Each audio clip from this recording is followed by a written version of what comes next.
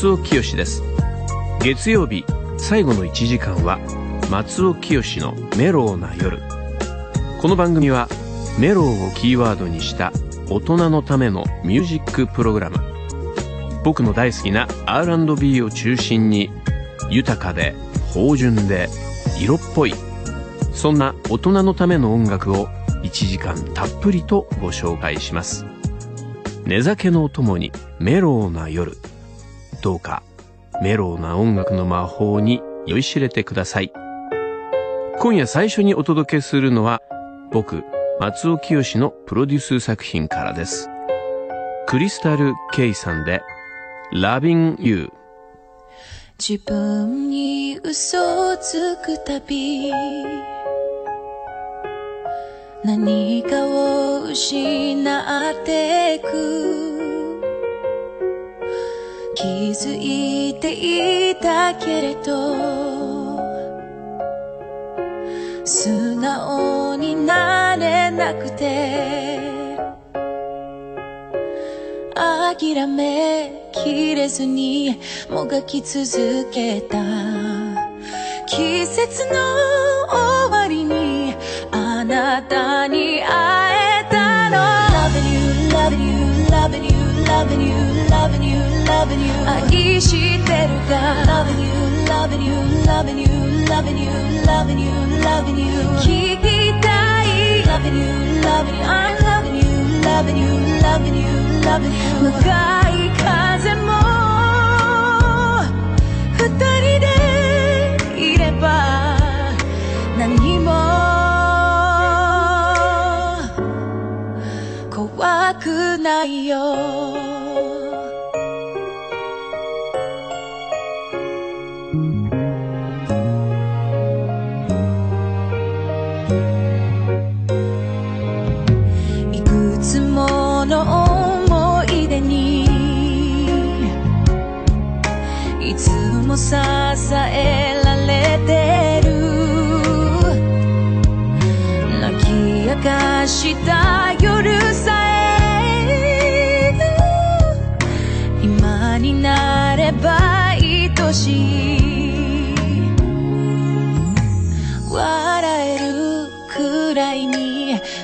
不器用だけどあなたの右手だけは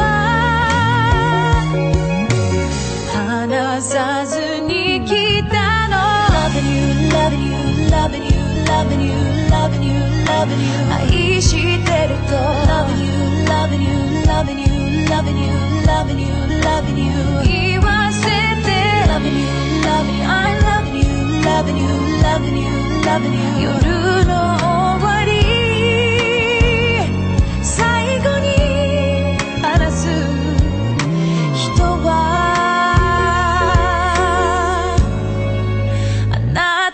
だから。一人には広すぎるこの星のこの街でさよならを繰り返しあなたにたどり着けた。あなたにたどり着いた。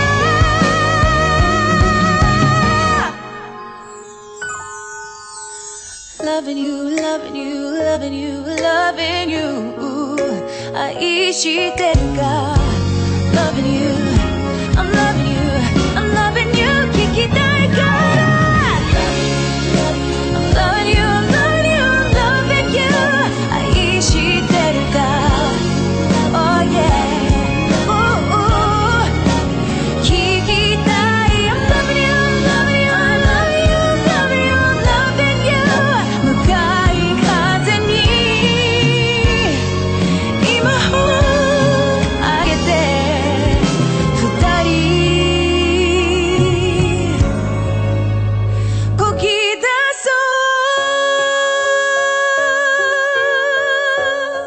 お届けしたのはリリースされたばかりの新曲クリスタル・ケイさんで Loving You でしたこの番組ではもう何度かご紹介いたしましたクリスタル・ケイちゃんの Loving You え僕がプロデュースそして作詞を手掛けております、えこの季節になりましてやっと馴染むそんな気候になってきたんじゃないかなと思います。しっとりとした曲です。秋の夜長にどうぞ。改めまして、松尾清です。松尾清のメロウの夜。ま、秋の夜長ってって言いましたけども、やや勇み足発言ですね。えー、ですが、えー、気持ちだけは、メロウな秋風任せと、参りたいと思います。えー、今週もレギュラープログラム、メローな風任せ、その拡大版でお楽しみいただきたいと思います。えー、まず最初にご紹介いたしますのは、メローな夜では常連アーティスト、デイブ・ホリスターです。この番組で Definition of a Woman をお届けしたのは、えー、まだつい最近のことのような気がしますね。えこの夏一曲ご紹介しました。その時にニューアルバムがもうすぐ出るそうですよと話したんじゃなかったかなそのアルバム The Manuscript が到着いたしました。えー、The Manuscript これは直訳すると、まあ、原稿とか手記とかそういう手書きで書いた原稿みたいなね、そういう意味合いがございます。えー、これを僕なりに訳しますと、ある歌うたいの手記。さらに一歩、えー、踏み込むと、ある男の告白。これぐらいまで許されるんじゃないでしょうかね。えー、それぐらいこうパーソナルな意味合い。俺はリアルミュージックを歌っているんだと言わんばかりの、そういった気概を感じます。えー、デーブ・ホリスター、元ブラックストリートという枕言葉はもう必要ないかと思います。この番組ではもうすっかりおなじみ。では聴いていただきましょう。アルバムの中で僕が最もソウルフルな印象を受けました。デーブ・ホリスターでクリエーション、ハー。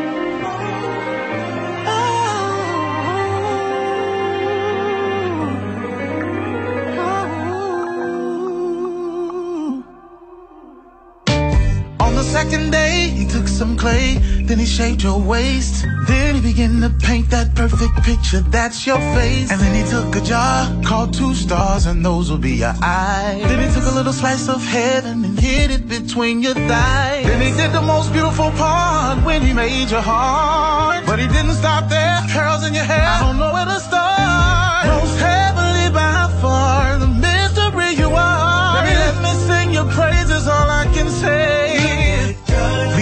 Be mine. How she get so fine all day on my mind.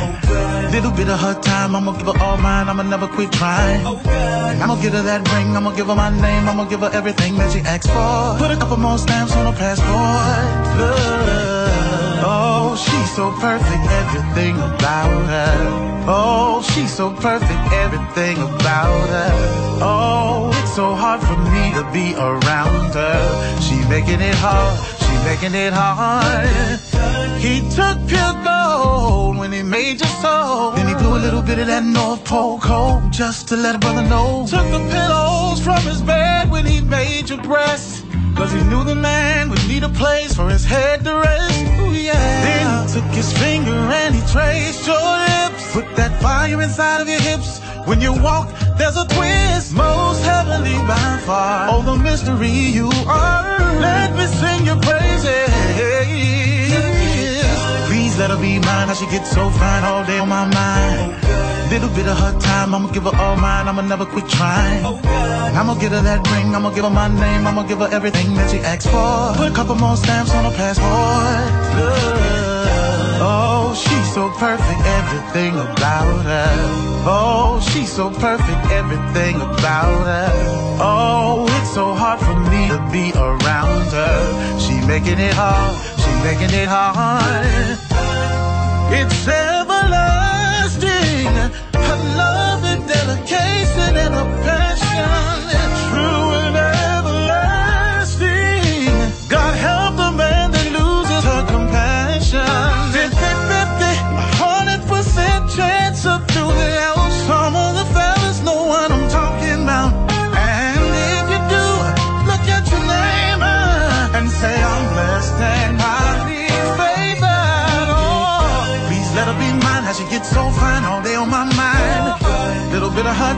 Give her all mine, I'ma never quit trying. I'ma give her that ring, I'ma give her my name, give her everything that she asks for. Put a couple more stamps on her passport. Love. Oh, she's so perfect, everything about her. Oh, she's so perfect, everything about her. Oh, it's so hard for me to to be around her. She making it hard, she making it hard.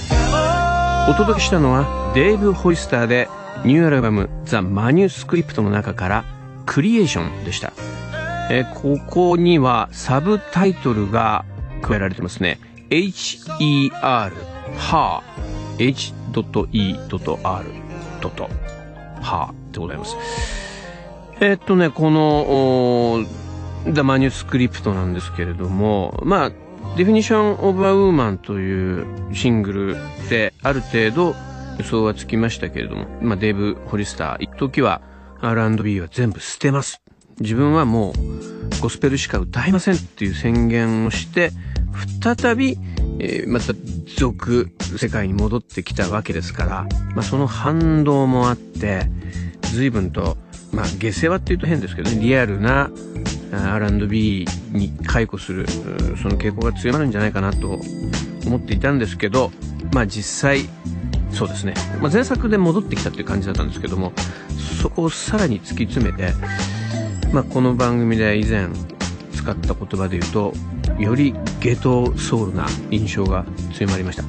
まあもう高尚なことをうん歌うのはひとまず置いといて、今は目の前の現実を歌おうと。まあ彼にとって今がそういうタイミングなのか、それとも今がそういう時代だというふうに思っているのか。いずれにせよデーブ・ホリスター、えー今回のアルバム、改作と言って差し支えないと思います。えーこのアルバムからは、えーまたもう一曲ぐらい、えメロネルでご紹介することになるかと思います。え今一番聴いているアルバム、デーブ・ホリスター、The Manuscript をご紹介いたしました。え続いてはね、新人、謎の新人なんですよね。あの、デーブ・ホリスターのさっきのクリエーションっていう曲とやや関係があります。さっきあの、詳しすぎるぐらいにサブタイトルの話をしました。he.e.r. と言ったんですけど、まさにその HER をアーティスト名にして、えーそのままえーそれを作品タイトルにしたミニアルバムで登場したのがこの女性シンガー「ハーですね HER です、え今回リリースされたアルバム HER ボリューム1というもうそのアーティスト名とこれが一作目であるということ以外の情報があえて、えー隠されてるといううん、そういう気配を感じます、えーですがこのアルバム内容大変素晴らしい。でこれ今配信サイトでバカ売れしてるんですね。えーまあ、内容がね今用の適度にアンビエントで、えまあ、僕がよく言うドレイク以降のねサウンドにきちっと乗って例えばあの最近でしたらジェネアイコなんかが歌えそうなサウンドを、まあ、器用に乗りこなしているというそういったまあ、印象がございます。この歯。歌の方は達者ですね。なんか聞き覚えがあるな、この声、なんて、えー思ってまして、うん、僕の周りで知ってる人いないかなと思って、いつも困った時に、えー尋ねる林剛さん。いつかね、番組ゲストでお呼びしなきゃいけませんけど、林剛さんに聞いたら、松田さんこれね、確信が持てないけど、多分ギャビー・ウィルソンですよ。ギャビー・ウィルソンの匿名プロジェクトじゃないかっていうふうにおっしゃってますね。あの、そういうソースもあるというふうに言ってましたけど、まあ、キャビー・ウィルソン、この番組では、えーアイズレイ・ブラザーズの Between the Sheets 絡みで Something to Prove という、えーまあ、ほぼ替え歌ですよと言って一回だけご紹介したことがございます。ギャビー・ウィルソン。そのギャビー・ウィルソンが、彼女まだ本当二十歳ぐらいで若い人ですけれども、知名度を、がないことを逆手にとって、こういう、まあ、手こ入れのために、こういう変則的な形で今世の中にアピールしようとしているんじゃないかという、そういう見方がアメリカの業界の一部にあるそうです。えーですが今のところギャビー・ウィルソンはそのことを認めてないんですよね。えー正体はどうなんでしょうか。はい。前工場長くなりました。ではその HER デビューアルバム HER ボリューム1の中からこちら聴いてください。アルバムの1曲目に収められています。Losing。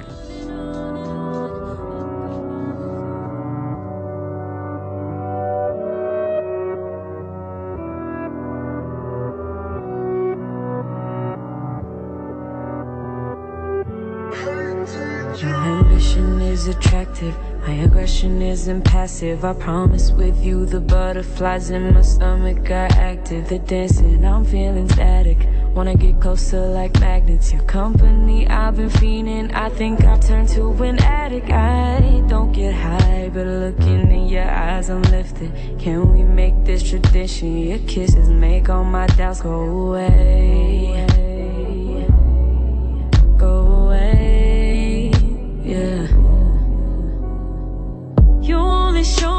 When it comes to the music. It's like when I feel lonely, that's when you start acting choosy. I don't wanna keep playing them games, cause I feel like I'm losing. I don't wanna keep playing them games, cause I feel like I'm losing. What we doing? What we doing?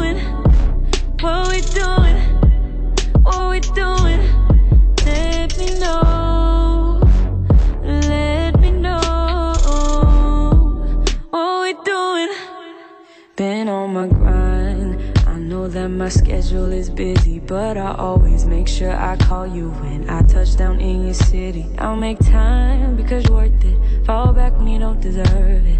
And I start losing patience when my efforts being wasted. I've been trying to write, can't you see I'm on your side? But it's killing me trying to make sure that both of us survive in love. I haven't got enough practice. All the ones before you were just a mistake or just a distraction. So tell me what's happening. You only show me love when it comes to the music. It's like when I feel lonely, that's when you start acting choosy. I don't wanna keep playing them games, cause I feel like I'm losing. I don't wanna keep playing them games, cause I feel like I'm losing. What we doing?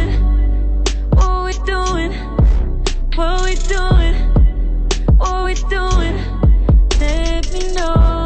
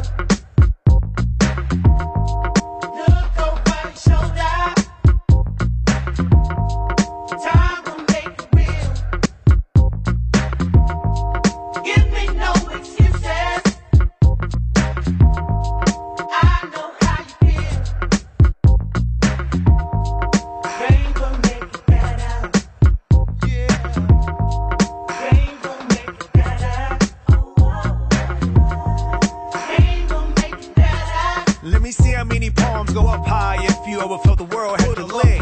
And what you wave from side to side to symbolize needing help when the sand pull you under. Big mama said the devil's up to no good, but we can heal it on a Sunday with a good book. Or if we feel it on a Monday for a good look. And make it part of the campaign to withstand pain. Me, myself, place it all on my shoulders and give it my all like heavy lifting. No game without tears and sweat. They claim blue skies with white clouds steady drifting. When pain come to get ya and hit you like flow, better times will pick ya. Do what you gotta do to earn focus in the stormy weather. Come out the tunnel to the light saying. Pain will make it better. Tell me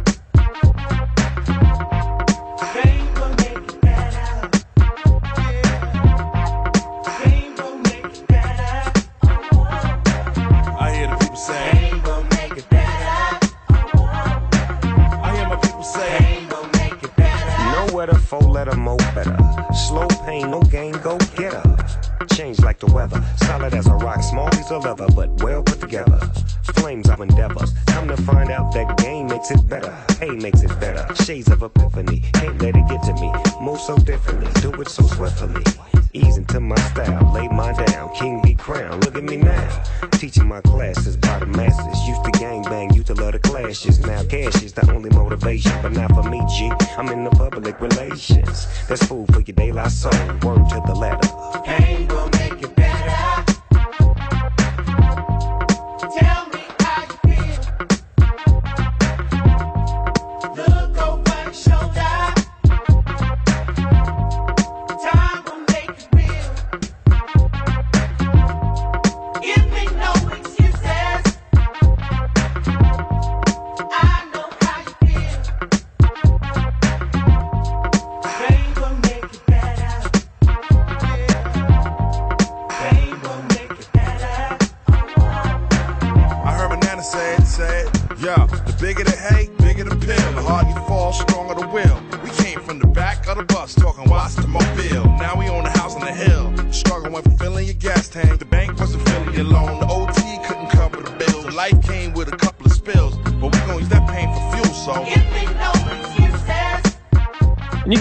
けてお届けいたしました。まずは、謎の女性シンガー、H.E.R. は曲は Losing。はい、正体はギャビ・ウィルソンではないかというふうに先ほど申し上げました。えー続きましては、この番組にしては、ちょっと珍しいかもしれませんね。まあ、ラップナンバーと言って差し支えないんじゃないでしょうか。デラソウル featuring スヌープドッグで、 Pain でございました。えーこれはデラソウルの12年ぶりのアルバム and the、えー Anonymous Nobody に収録されています。これはなんかちょっと面白い作り方をしたそうで、まずはその、数千万単位で、あの、クラウドファンディングで、えーデラソウルが制作費を集めまして、えーで、えーそのお金をもとに、あとサンプリング問題で、えーデラソウルって今まで何度も裁判に巻き込まれたりしてますから、そういうのを未然に防ごうということで、まず潤沢な制作費の中から、いろんなミュージシャン呼んで生演奏をやって、で、その生演奏の素材をもとに、サンプリングを、ね、もちろんそれはもう、あらかじめ権利をクリアしてるわけですから、えーそれを元に音を再構築して、えーで、新譜という形で世に出すという、もう本当はあの、ヒップホップというものが世の中に出てきて、メジャーシーンでも40年近く経ってますけれども、えーその中でもうついにここまでの方法論にたどり着いたと。まあ、その、ね、たどり着いた先の音楽に、もはやスリルはあるのか？難しいとこです。これ難しいとこです。これやっぱりあの、大衆音楽の成り立ちっていうのを考えるとね、えー、どうなんだろう。ただ、良質な音楽であることは間違いなくて、もう BGM としても機能し得る音楽としてはこれ最高じゃないでしょうかね。まあメッセージも含めて、えー、辛いことが自分をより良き自分へ導いてくれるんだよっていうようなね、そういう内容でした。まあデラソールはあの元から、いわゆるギャングスター的な内容ではなくて、ユーモアですとか開逆ですとかそういった、ところで知られてた人たちなんで、今やってることは真っ当な気もしますね。一周してね。デラソウル featuring スヌープドッグで Pain でございました。さて、今、もうざっとね、アメリカのブラックミュージック30年40年ぐらいを雑に、大まかにまとめるような言い方をしましたけれども、最近ね、この番組で何度も繰り返し使っている言葉の一つに、90s R&B、そして、まあ、90年代解雇っていうこういうフレーズがありますが、まあ、これもブームではなくて一つのジャンルとして定着したんじゃないかっていうのを番組でも以前一応話しましたけども、えその定着ぶりに、えーうまく自分の居場所を見出した、えーそして復権した人がエリック・ベネーではないでしょうか。90年代のメローな R&B の立役者の一人であり、えそして今なおアメリカ本土はもちろんですけれどもヨーロッパ、アジア、とりわけ韓国、日本で絶大な人気を維持している素晴らしい男性ソウルシンガーですね。えーそのエリック・ベネ、キャリアもね、もう20年以上経った今になって、その名もエリック・ベネというアルバムが、えーもうすぐリリースされますが、そこからの先行シングルとなりました、サンシャインという曲。これが今アメリカのラジオ局でいい流れを作っておりますね。えー今その流れに乗ってリミックスまで登場しちゃいました。えーリミックスではデュエットの仕立てになっておりまして、ね、元は一人で、えーリク・ベネ歌っていたんですけども、男女デュオ。このお相手に抜擢されましたのが、エリック・ベネーの代表作の一つ、1999年の R&B ナンバーワンヒット、Spend My Life With You でパートナーを務めておりましたタミヤでございます。そう、タミヤもね、この番組で去年ですか、お話しましたが、えー久々に出したアルバムが R&B チャートの1位と、本当に驚異的な復権ぶりを見せております。そんな、あーね、この年、40歳を超えて、今が一番美しいかもしれない美男美女エリック・ベネート・タミヤのデュエットをお楽しみいただきましょう。曲は、サンシャインリミックス。Oh, baby.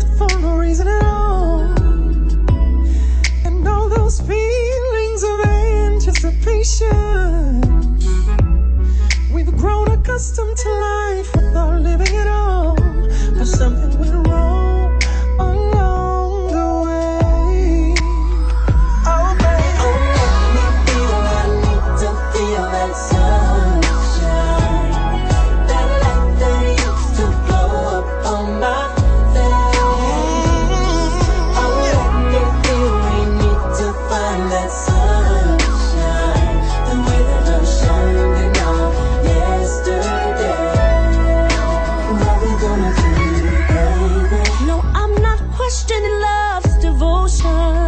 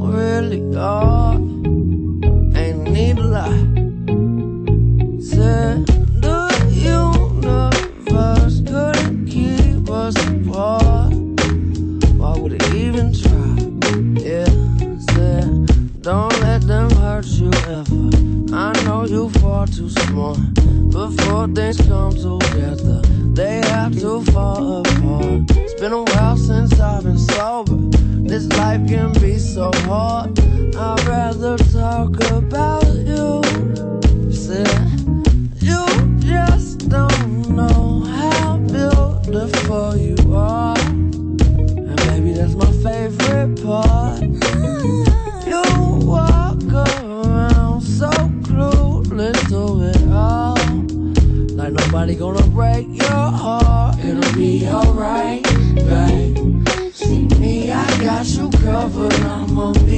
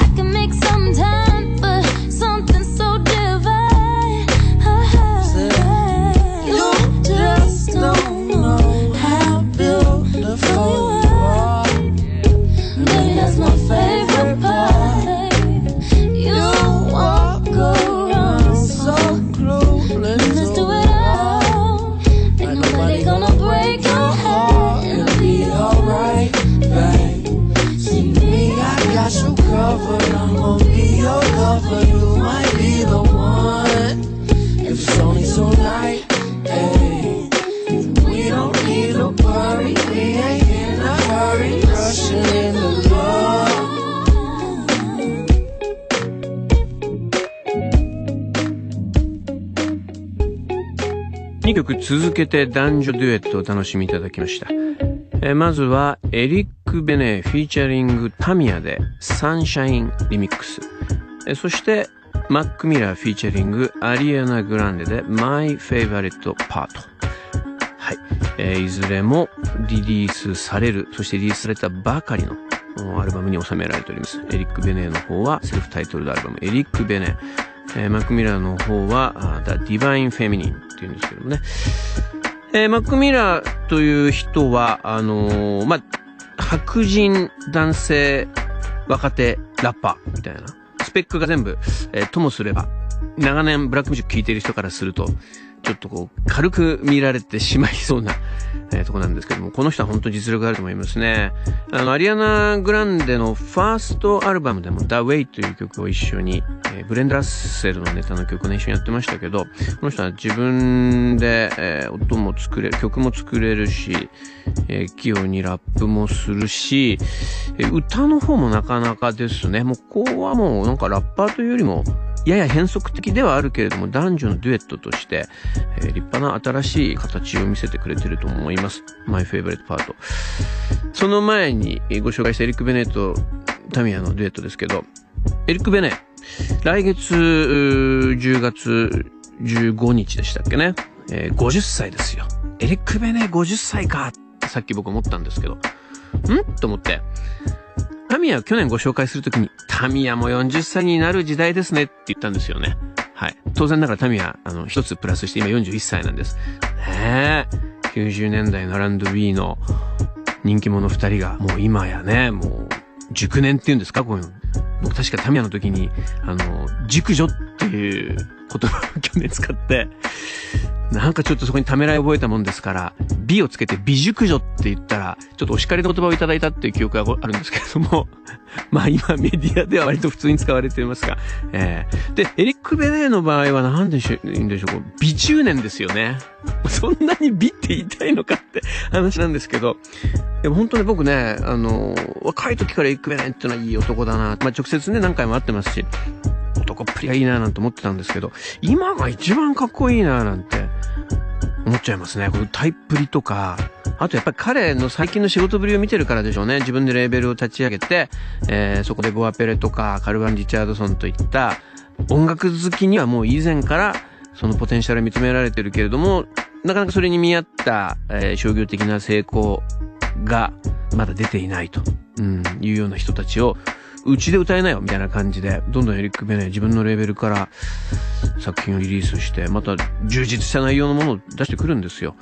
うん、エリック・ベネはね、本当は昔のことを言うようですけれども、人気女優、トップ女優と言ってもいいですね。ハリー・ベリーの夫として、奥さんに比べて、あの夫はなんだみたいなこと言われたりとか、えー、時はね、もうなんかダメな夫の典型みたいに言われてたことが信じられないぐらい、えー、もうあの、念のために言いますけどもね、その後、ハリーとは、あの、サパイとして新しい伴侶を得てますが、本当に、あの、あ、こういうね、アーティストのうん、キャリアの積み重ねってあるんだなっていう、うん、あとやっぱり思い立った時が、その人にとってのチャンスなんだなってことを見せてくれる。そんなエリック・ベネーでございますね。サンシャインという曲。これ、あの、元の曲は非常にオーセンティックな、えー、R&B、エリック・ベネー節っていう感じでしたけども、このリミックスでは、えー、M2 名の1984年の大ヒット、You, Me and He をサンプリングしております。まあ、You, Me and He っていうぐらいで、もうこれ何をか言わんや、三角関係を描いた、まあ、ドロドロのトライアングルラブソングだったわけなんですが、そこをネタに使ったところもちょっと技ありという気がしますね。えー、もう、おじさん力ですよ、エリック・ベネ。まあ、それに比べますとね、このマック・ミラーとアリアナ・グランデ、二人の年齢足してもエリック・ベネに届かないんじゃないかなっていうぐらい、まあ、若い20代前半のデートなんですけどもね、まあ、うん、こういった人たちにも男女のデュエットという形式が継承されてるっていうのが本当に心強いですね。もうこの世界はまだ安泰だなという気がいたします。熱くなりました。えー、続いては、ちょっとお清めにゴスペルなどいかがでございましょうか？秋に聴きたいゴスペル2曲ご用意いたしました。えー、まずは解散したえー、ゴスペルトリオ、トリニティ57という人気、トリオをいましたけども、えー、そちらを解散してソロの道を歩みます。えー、シャネル、まあ、チャネルという人もいますけどもね、えー、シャネルの Believe という曲。そしてもう一曲、これこそ今日の目玉かもしれません。えー、デトロイトの名門ボーカルグループ、ワイナンズ。えー、そして、えー、まあ、名門ファミリーと言ってもいいですね。ワイナンズファミリーからまたスター、誕生でございます。え、ビッキー・ワイナンズの甥っ子にあたります、ティム・バウマン・ジュニアという男性シンガーのアルバム Listen。こちらが改作でございます。その中から今日は一曲、I'm Good という曲。それではシャネルで Believe。ティム・バーマン・ジュニアで I'm Good。2曲続けてゴスペルをお楽しみください。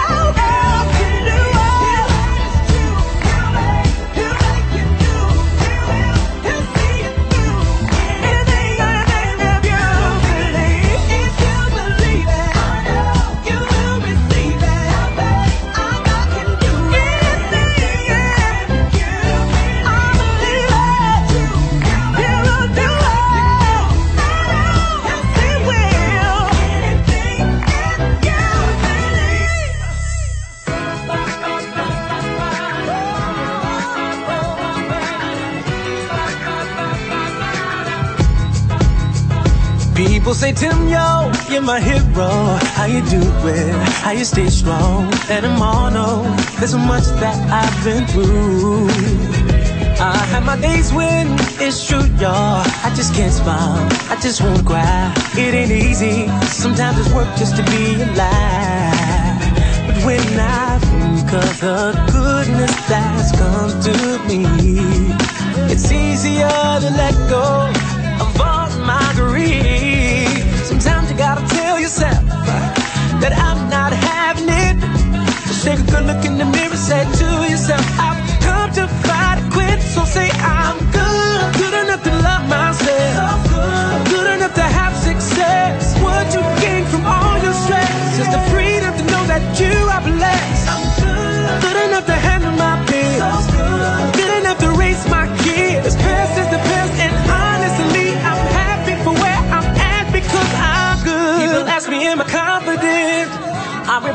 every now and then. But life comes down to two things, and that's rejection and acceptance. So I reject that there's no peace, and I accept that I am free. And that's all I have to be. And that's all I ever need. Cause when I think of the goodness that's come to me, it's easier to let go of all my grief. Sometimes you gotta tell yourself that I'm not having it. Just take a good look in the mirror, say to yourself, I've come to fight to quit. So say I'm good, good enough to love myself,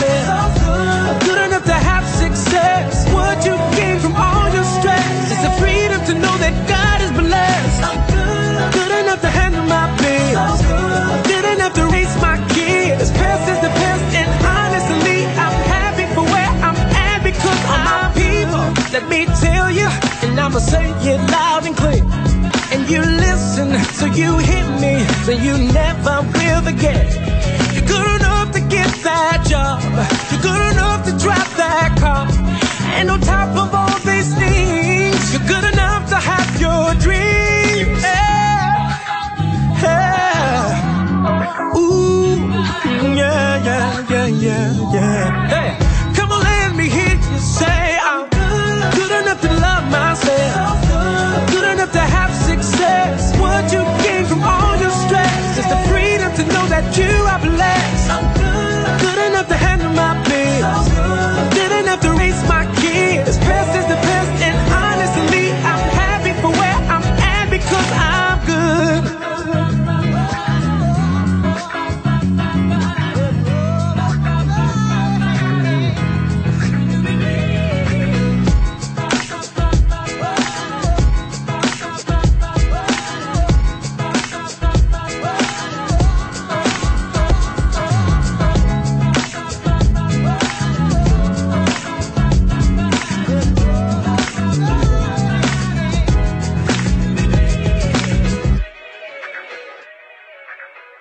秋に聴きたいとっておきのゴスペルナンバーを2曲続けてご紹介いたしました、えーまずは女性シンガーシャネル「Believe」えーそしてティム・バーマン・ジュニアの「I'm Good」でございました、えーまずシャネルなんですけれどもこの人まあルイジアナ州のね、ニューオーリンズ本拠地とししておりまして、えートリニティ57というゴスペルトリオ。まあ、この人たちは、ゴスペル版のデスチャ、デスティニーチャイルドっていうふうによく言われてましたね。まあ、一つには、あの、デスティニーチャイルドも同じ、えー南部、まあ、彼女たちはえーテキサス州のヒューストンですけども、 Southern Belle と言われるね、あの南部女性であるという共通点がございますし、あとまあ3人組、まあ、あの、デスチャー4人だった時もありますし、トリニティ5:7もちょっと多少メンバー増減はありましたけども、基本的にやっぱりトリオという形態にこだわっていた。あともっと決定的なのは、デスチャの中心人物、ビヨンセ・ノールズのお父さん、マシュー・ノールズ、まあグループのマネージャーでもあったわけですが、そのマシュー・ノールズ、そして、えビヨンセの妹ソランジェ、こういった人たちがこの、うん、トリニティ5:7に関わっていたんですよね。えーだからもう本当に、まあ、裏表って言い方は、この場合、あの、どっちが表だっていう論争になっちゃうんですけれども、まあ、生と俗の世界を、この二つのグループでマシュノルズは表現していたとも言えるわけで、えーそれだけの華やぎもあった人たちですね。まあ、グラミーにノミネートされたこともありますし、ダーブアワードとかステラアワードっていうこのゴスペル、の世界における大変権威のある賞を受賞してもいた25-7。えーその人たちがまあ、2013年ですかね、あの、解散しまして、もう解散する前に二人組でちょっとギリギリで頑張ってる時期もあったんですけど、やっぱり解散しまして、で、2014年に、まあ、トリニティ57の看板を守るような形で、えーシャネルのソロ作が出ました。で、そのアルバムの中から、ビリーブご紹介した次第です。はい。こういう人とのつながりをくどいぐらいに話してますけども、ゴスペルっていうのはもう本当に血の音楽というか、血縁の音楽なので、えー人の話は避けては通れないのです。そして、えーその次ご紹介したティム・バーマン・ジュニア。この人もいろいろ、あのーいろんな、あの、絵が描けますよ。この人から、あの、いろんな線を結んでいろんな人につながります。さっきビッキー・ワイナンズっていう人の名前言ったかと思いますけれども、ワイナンズファミリーの話をしました。まあ、ワイナンズっていうと本当にあの、デトロイトの名門ゴスペルファミリーですね。で、そこから何々ワイナンズっていう名前でいろんなソロ作が出てます。BB&CC ワイナンズなんかも有名ですし、マリオ・ワイナンズっていうね、R&B 畑の人もいますけども、まあこの人マリオ・ワイナンズのいとこですね。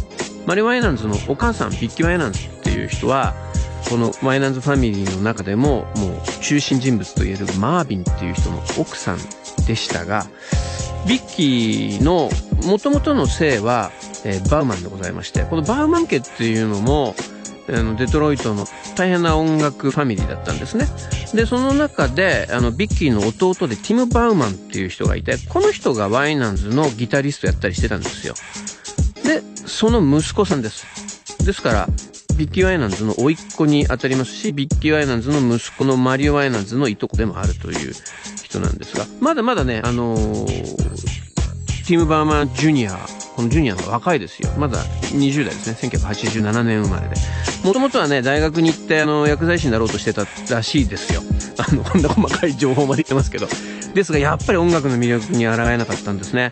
僕はこのお父さんのね、ティム・バウマンのアルバムも、あの、いくつか聴いたりしてるんですけど、まあ、スムースジャズ系で今、自分で作品出してる人なんですけども、まあ、そういう音楽的な影響がこのティム・バウマン・ジュニアのリスンってアルバムにも大変色濃く出てますし、まあちょっとこのリオンウェア、マーヴィンであったりを引用した曲の入り方とか、この曲の作り、まあこれロドニー、えー、ジャーキンスとジョン・テオースティンっていうもう最強の二人が作ってた曲ですけど、ゴスペル界から出るべくして出たニュースターと言えるんじゃないでしょうか。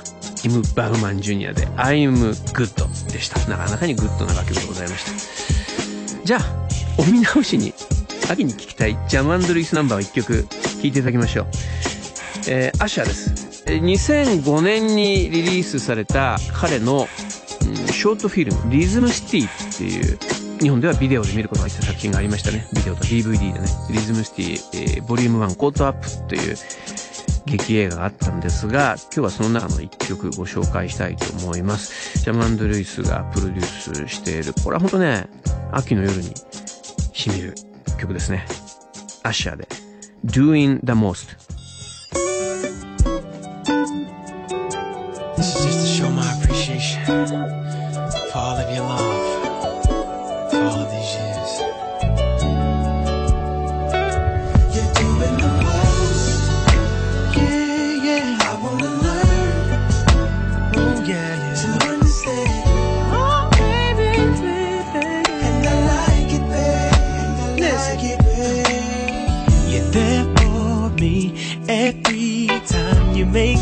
that I'm alright. Down for me with so much love, no matter what.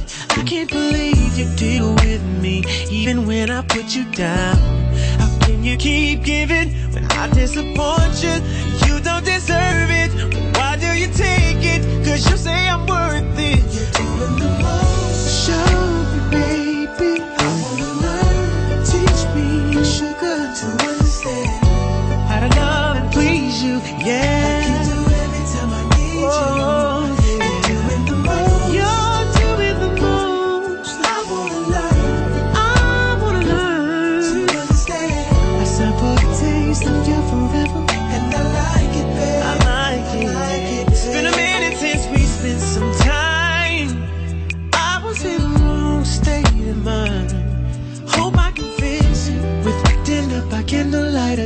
Roses, Hershey kisses fall the ground you walk on.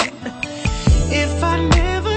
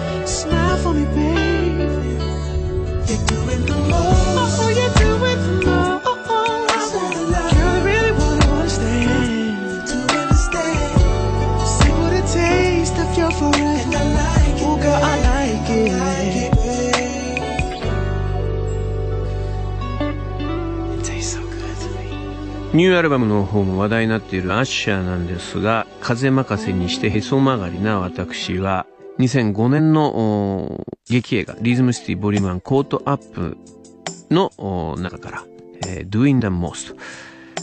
はい。これはジャムルイスのプロデュースでございました。隠れ名曲ってやつですね。この番組、松尾教師のメロの夜は皆様からのご要望、ご感想もお待ちしています。パソコンから NHK のホームページへアクセスしてください。ホームページのアドレスは nhk.or.jp スラッシュメロウスラッシュです。さて、楽しい時間ほど早く過ぎてしまうもの。今週もそろそろお別れの時が迫ってきました。ということで今週のザ・ナイトキャップ寝酒ソングですが、えーまあ先ほどジャムアンドルイスをお届けしましたし、彼らの本拠地ミネアポリスをテーマにした曲を聴きながらのお別れです。えーイギリスのソウル好きの人たち ABC、ABC のその名もミネアポリスを最後にお届けいたします。これからお休みになるあなた、どうかメロの夢を見てくださいね。まだまだお仕事が続くという方、この番組が応援しているのはあなたです。次回は来月10月3日月曜夜11時にお会いしましょう。お相手は僕、松尾清でした。それでは、おやすみなさい。